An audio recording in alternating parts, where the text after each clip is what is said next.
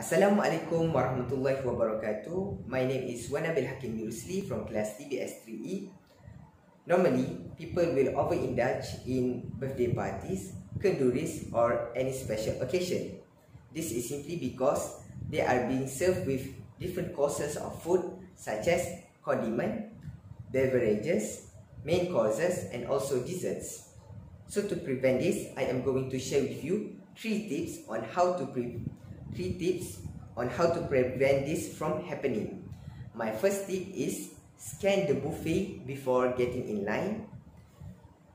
Bring a healthy dish to the event and the last one is do not skip your breakfast.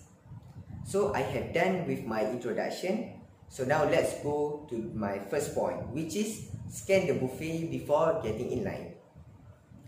Scanning the buffet before getting in line is important to prevent overindulging in special occasion. This is because you do not want to stack up your plate in with every dishes that is being served there. So, for example, you could choose top 3 picks and go through the buffet as fast as possible. You could choose three dishes that is hard to cook at home and leave the rest. And you could come back later if you want to have a taste. So, I have done with my first point. Now, let's go to my second point which is bring a healthy dish that you love to the event.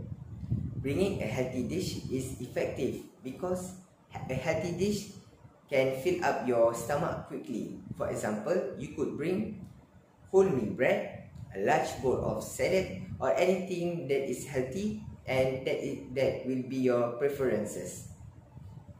So, after you bring a healthy dish in the event, you need to put it on your plate first before anything else.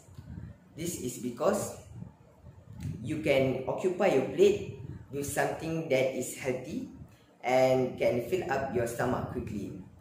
And if you you can also stack up your plate with any small amount of food because your plate is will be already full by that time. So i have done with my second point. Let's go to my last point which is do not skip your breakfast. Breakfast as we know is very important to us it can give us energy throughout the day.